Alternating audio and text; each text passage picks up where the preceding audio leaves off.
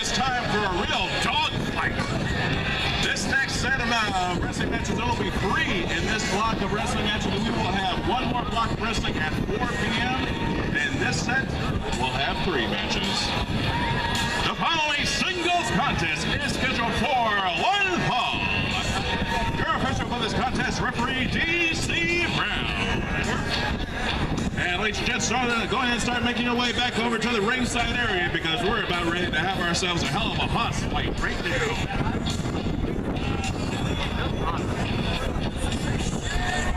Introducing first. Weighing in this afternoon at 240 pounds from Guatemala City, Latino